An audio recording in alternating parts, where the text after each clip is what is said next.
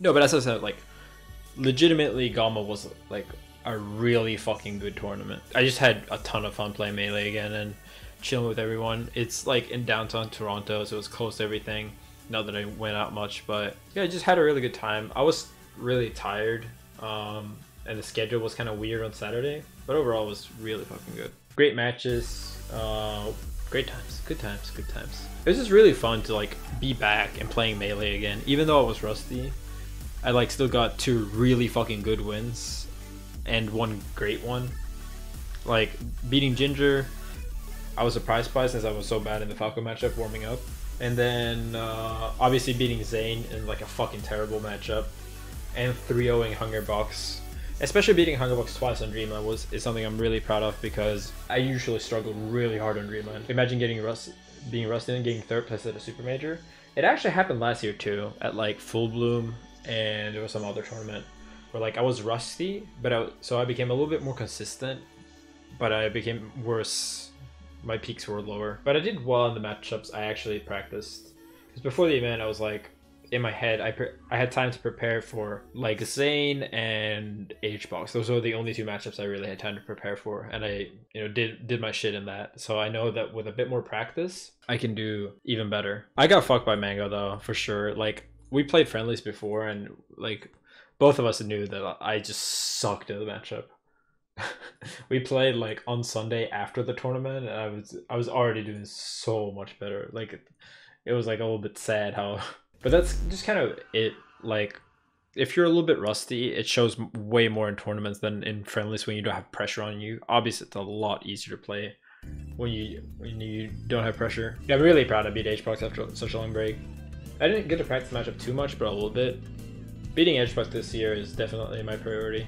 I I failed to save melee last year, and I already feel like I'm doing better. Yeah, not laser when he's on the side top made a big difference.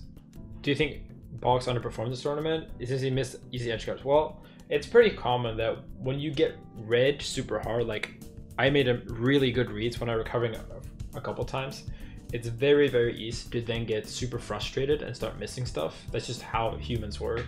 It's like in basketball, right? Like if you sink a couple threes, like you're usually on a hot streak and you keep sinking them. Um, so it's not as easy to say like, oh, did Hungrybox just suck? It's like when you get a couple good reads, it's very easy to get into their head. Skirt lol, thank you so much, man.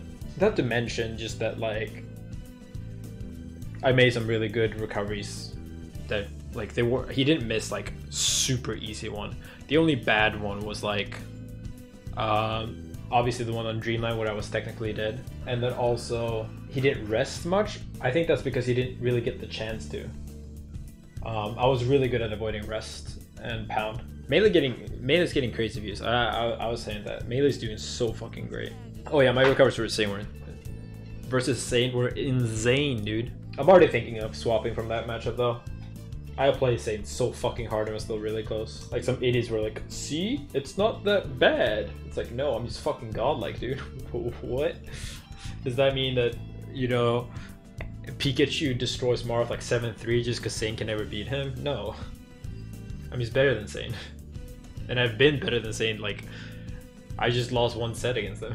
No, I don't really think uh, playing Fox long term versus Zain is viable. If Zain gets to the level that I am at, I, I think I'll lose like 80% of our sets. I, I missed a couple ledge checks actually.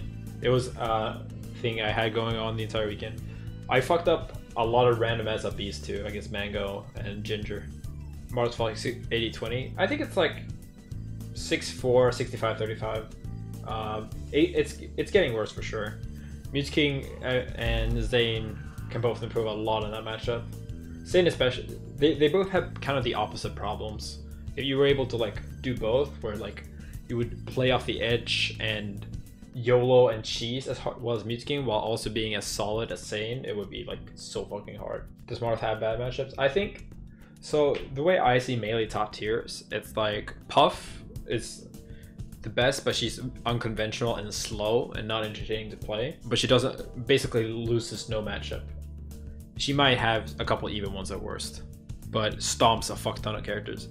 Then it's Fox. Fox beats the bad characters really, really hard if you know the matchup, but knowing the matchup is very hard for Fox. So like even Fox versus Ganon, Falcon, not Falcon. Falcon's not bad actually, but Fox against Samus, Pikachu, even DK, like characters like that can win against it. Luigi. But if you know the matchup, they're pretty bad for the other person, and you're playing properly. Fox against the top top tiers right now in the current meta because everyone's so good at punishing. Um, I would say Fox loses slightly to Falco, Marth, and maybe Puff, but he does better than both Falco and Marth versus the most of the spread. Like he does way better than Falco against floaties, and he does better uh, than Marth against anyone below like the top four. So like he does better against Peach, Sheik, maybe not Peach. Peach is about the same, but Peach, Ices, Falcon, um, Yoshi, Samus, Pikachu, all those characters. So I still think Fox is like it's like Puff, just mostly because of jet ease of use. If tournaments were perfect, ran better schedules, if there were more Puff players, I think she would honestly be in the same tier, but just slightly higher. Right now, it's like Puff, Marth Fox, then slightly, slightly below Falco, like still in the same tier in my opinion.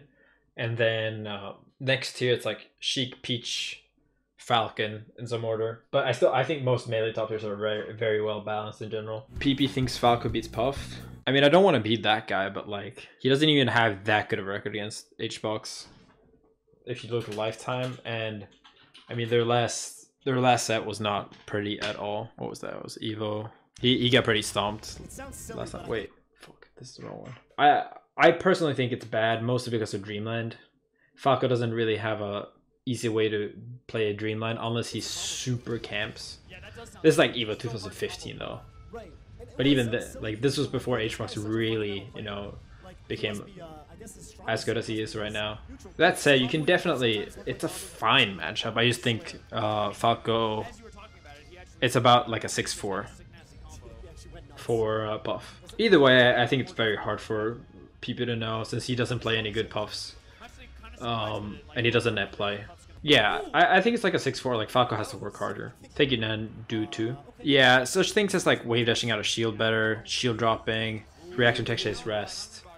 Uh, there, there's a bunch of things that like favor Puff in the meta that weren't really common before.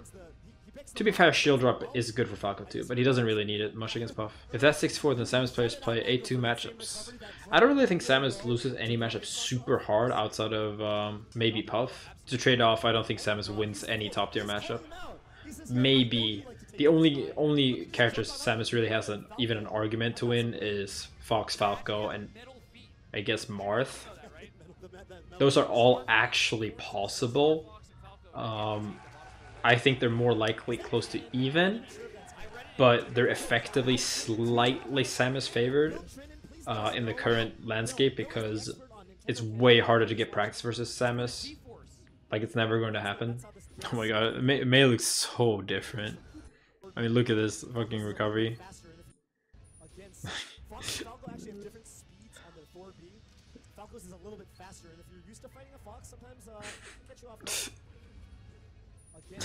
Jump back side B. it worked, dude. Is being a top player overrated or underrated? Um, I I wouldn't say it's either. Um, being a top player is fucking amazing. I love being a top player. I love the the amount of things melee has taught me. Um, that I get to stream for you guys instead of go to work like Jenny does tomorrow. Um, that I get to be my own boss. That I get to meet so many different people and play and play legitimately the fucking best game ever in front of so many people. Oh look, it's me. But it also comes with a lot of drawbacks, and I think if you hate those drawbacks a bit more than I hate them, um, it can easily turn to straight up ter- a terrible, terrible job.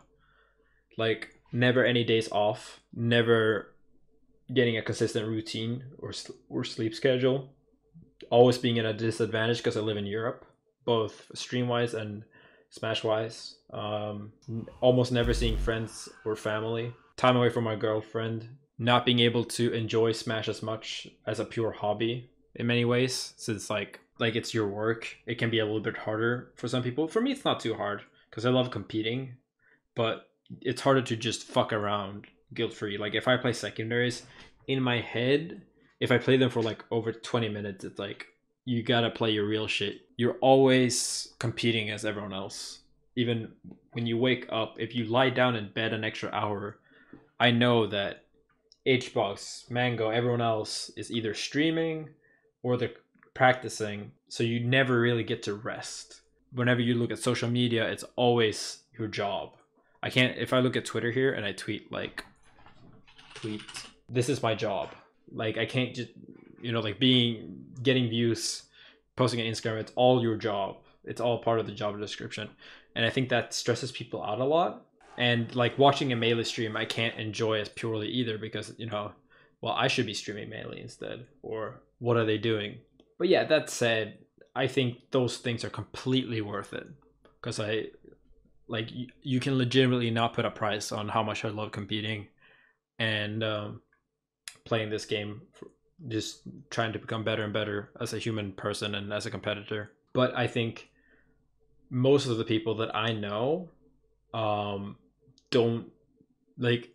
I think a lot of people that don't really know me, but like watch my stream maybe or um, maybe meet me once or twice, they're like, "Dude, you have it so good, man."